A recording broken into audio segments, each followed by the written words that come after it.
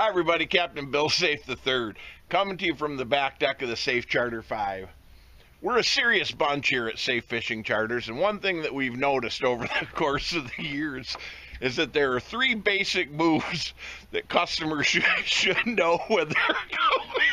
Hi, everybody. Captain Bill Saiff III. You know, we're a serious bunch here at the Saiff Fishing Charter Group, and one thing that we've noticed when we've been fishing over the years on Lake Ontario is that there are three basic moves that customers make whether, whether they're Saiff the third on the back deck of the Saiff charter number five you know we're a serious bunch here at Saiff fishing charters and we've noticed over the years that there are three basic moves that customers make and perform when they're going for a rod that has a fish on it on the back deck of one of our boats so we'd like to highlight and illustrate those for you so that you can put them into your repertoire and make them part of your fishing package. This is extremely important. So here to help me is my good buddy, Jason Julien, Captain Jason How you Julien. doing, everybody? Thanks. I'm glad you're here to, to help me demonstrate these, Jay. Get this technical segment out of the way here. Very, very, very important. This is going to go a long way towards helping people hook up fish on a more regular basis. Uh, the first move that we would like to demonstrate is the move that we call hot coals The customer should be paying attention to the back of the boat, should know what rod the fish is on when the captain hollers fish on, but inevitably they don't.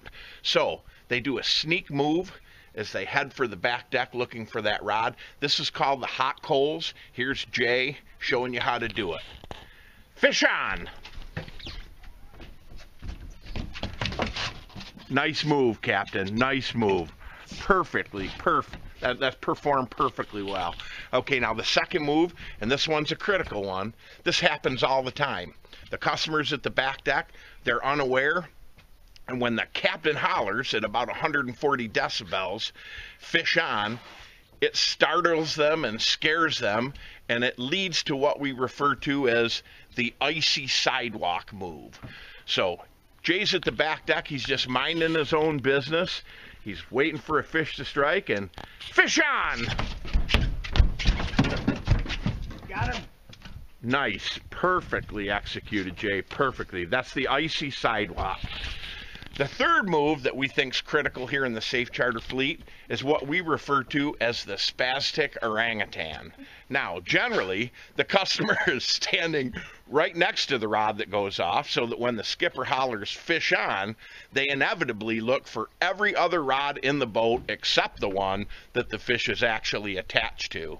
So, Jay's going to demonstrate now what it looks like when you put the spastic orangutan move on the rod. Ready, Jay? You betcha. Fish on! Got it. nice, nice, nice job, Jay. so there you have it. It's critical to know these moves, practice them, spend time home, you know, spend a little quality time with the wife. That's always good. Have her sit on the couch, holler fish on. You practice the icy sidewalk, the hot coals, and the spastic orangutan so that the next time you head onto the high seas of Lake Ontario, you'll be more prepared to take care of action at the back of whatever fishing vessel you're on. I'm Captain Bill Saiff III. That's your Saiff charter tip of the week.